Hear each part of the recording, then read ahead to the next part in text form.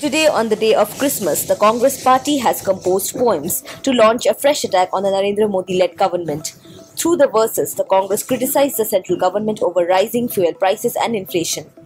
In a tweet, the Congress took a swipe at the government over rising fuel prices, saying, Thank God Santa rides the sleigh, he doesn't need to pay hefty prices for fuel. In another, the Congress attacked the government on inflation.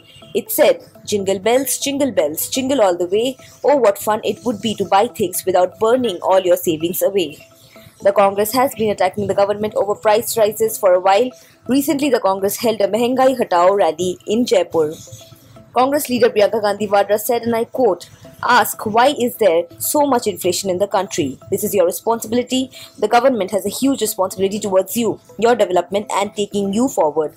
Then it is your responsibility to ask for a strong future from the government. In another tweet, the Congress said he is not making a list. The government's not checking anything twice. They have no data on who's naughty or nice, implying that the government does not listen. Another tweet from the Congress said, All we want for Christmas is a government that listens. This comes as the Congress and the BJP are carrying out aggressive campaigns ahead of the Uttar Pradesh Assembly elections due in 2022.